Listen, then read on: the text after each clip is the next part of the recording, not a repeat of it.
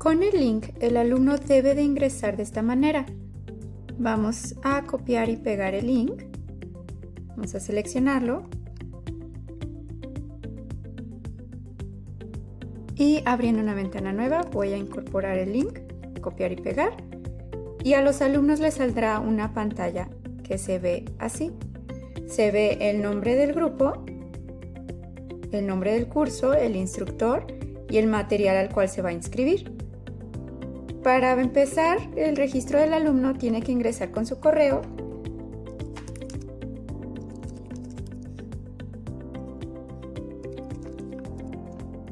y le va a dar clic a Begin.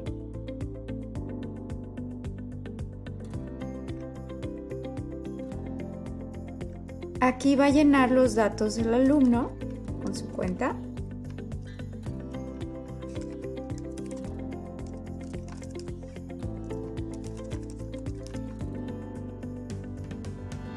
Una vez que el alumno haya llenado o completado su información, le da clic a I agree to the terms of the McGraw-Hill y darle clic a Continue.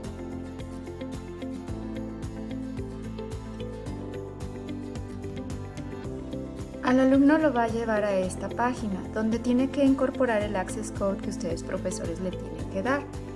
Por el momento voy a poner Temporary Access, pero es muy importante que el alumno ingrese el Access Code, porque de la otra manera el Temporary Access, como lo dice el nombre, es un acceso temporal solamente de dos semanas. Doy clic a Confirm